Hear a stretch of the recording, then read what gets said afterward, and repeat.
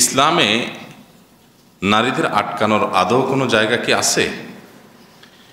ভাইরা আমার, এই একটা আলোচনা, বরং কোনো কোনো ক্ষেত্রে কেওয়াজ এবং আপনার অহেতুক এই ইস্যুকে কেন্দ্র করে অহেতুক নানা কথাবার্তা আমরা সোশ্যাল মিডিয়াতে দেখতে পাচ্ছি, শুনছি, মানুষ বলছে। আসলে কিছুদিন পর পর আমাদের এক একটা আইটেম হাতে আসে। ওই আইটেমটা হাতে পেলে আমরা আমাদের সবার মেধা, বুদ্ধি সব ক্ষয় করে সেখানে আমরা নানান রকমের মতামত দিতে থাকি। প্রচুর পরিমাণ সময় থাকলে যা হয় আর কি।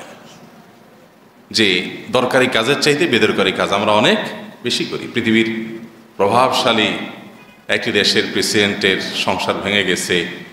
একজন প্রেসিডেন্টের স্ত্রী হয়েও তিনি তার ঘর করলেন না। অর্থাৎ প্রেসিডেন্টও তাকে আটকাতে পারল না। তাহলে নারীর বোধহয় কিছুতে আটকানো যায় না। নারী একেবারে আপনার কোনো কিছুর কাছেই সে মাথা মতো করে একেবারে লেগে থাকে না। কিছুতেই নারীকে আটকানো যায় না। এইসব আলাপ সালাপ চলছে। আবার অনেকে বলছে, আটকানো যায় এটাতে, সেটাতে, অমুকটাতে আটকে, তমুকটাতে আটকে নানান আলোচনা চলছে।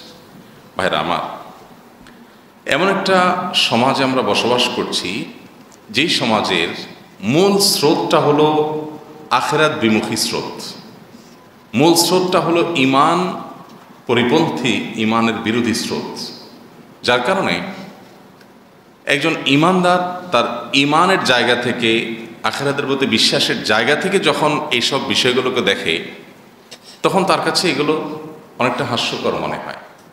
কথাটি এই জন্য বলা যে, আটকা আটকের ব্যাপার যেহেতু আসছে এবং প্রশ্ন যেহেতু করেই ফেলেছেন এই ইস্যুতে, সেজন্য বলতে হয় নারী হোক আর পুরুষ হোক, তার আটকানোর মূল এবং প্রধান জায়গা একজন মুসলমান হিসাবে আল্লাহ এবং তার রসুল সাল্লাহ সাল্লামের আদেশ এবং নিষেধ। আল্লাহ এবং আল্লাহ রসুল সাল্লাহ সাল্লাম, আল্লাহর কোনো আদেশ, নবী সাল্লাহ সাল্লামের কোনো নির্দেশ আল্লাহ নির্দেশের আলোকে এটা যদি পেয়ে যায়, তাহলে মুসলমান পুরুষ হোক আর নারী। বৃদ্ধ হোক আর যুবক, ধনী হোক আর গরিব, যেই হোক না কেন, সকল মুসলমানের আটকাবার, ঠেকার একটা জায়গা আছে, সেটা হলো আল্লাহর আদেশ এবং। আল্লাহ নির্দেশ করেছেন, এটা তার ঠেকার জায়গা, এটা করতে হবে তার, ব্যাস। আল্লাহ নিষেধ করেছেন, এটা সে করবে না। এখানে, এটা তার ঠেকা, এখানে ঠেকে গেছে সে, আল্লাহ নিষেধ করেছেন। কারণ আল্লাহ যা আদেশ করেন, আল্লাহ যা নিষেধ করেন, সেটা মেনে চলার মধ্যেই বান্দার কল্যাণ। অন্য কোনো পথে এটা লঙ্ঘন করার মধ্যে কল্যাণ থাকার কোনো স্কোপ টোটালি নেই।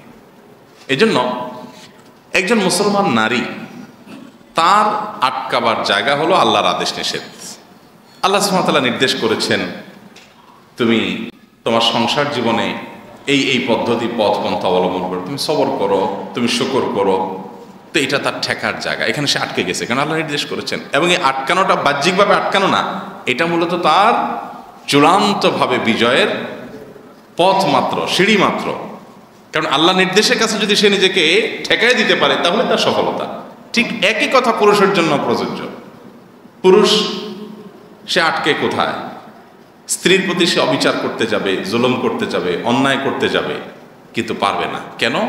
কারণ আল্লাহ তালা করে নির্দেশ করেছেন ও আশিরু হুন্না বিল মারুফ তোমরা তোমাদের স্ত্রীদের সাথে, তোমাদের জীবন সঙ্গিনীদের সাথে তোমরা পুরুষরা সুন্দরভাবে জীবন অতিপাত, অতিবাহিত করো।